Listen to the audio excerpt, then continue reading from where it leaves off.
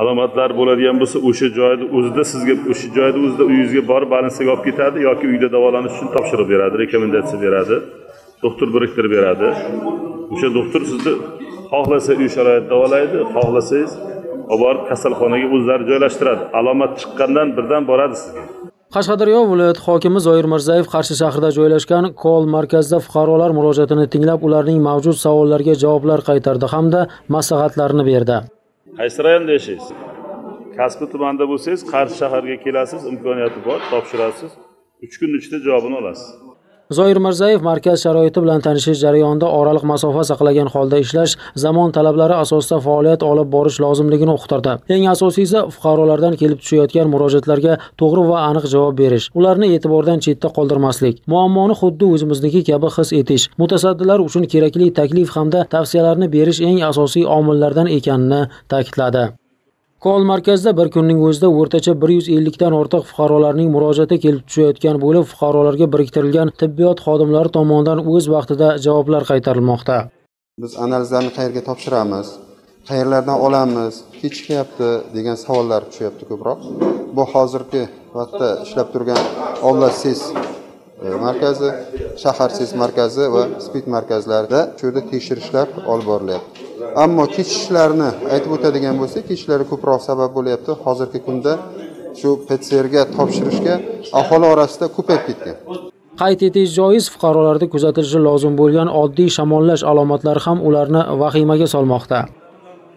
Ko'plar temperaturasi chiqsa ham ozroq holsizlik sezsa ham borib shu topshirish oqibatida u yerda topshirish natijasida aholi soni ko'payganligi hisobiga o'sha yerda sal kelishmovchiliklar ya'ni javoblarni sal kechikib olishlari kuzatilib boryapti. Lekin bugungi kunda shularni yo'lga qo'yilishida ish olib borilyapti. Hozirda topshirilgan javob aniqlari aniqlangandan keyin ularni shifoxonaga yotqizib davolanishlari yo'lga qo'yiladi.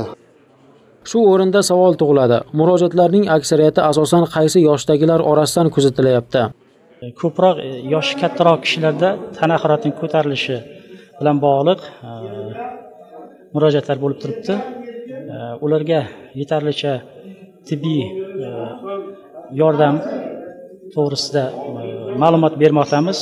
E, o'sha tana haroratini tushiruvchi dori darmonlar antibiotik terapiya dorilarini o'tkazish shu bilan birga ratsional ovqatlanish kundalik tartibidagi bo'ladigan ko'proq suyuqliklar ichish bilan bog'liq ma'lumotlarni ham berib turibmiz.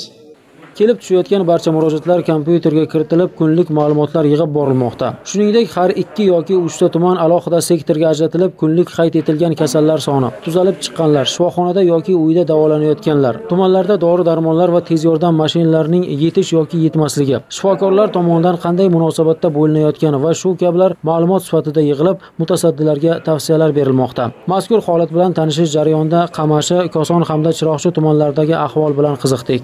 Chiroqchi tumanlarida e, test topshirish bo'yicha imkoniyatlar kamligi misol e, qamashi koson tumanlarida test topshirish e, o'z vaqtida bajarilyapti. Koson tumanida misol uchun dori darmonni o'z vaqtida yetib yetishmasligi hozirgi kunda kuzatilyapti. Olib borilayotgan bunday amaliy tashabbus va mavjud islohotlar aholi salomatligini ta'minlash odamlarni rozi qilish hamda pandemiyaning oldini olishga qaratilgani bilan ahamiyatli albatta.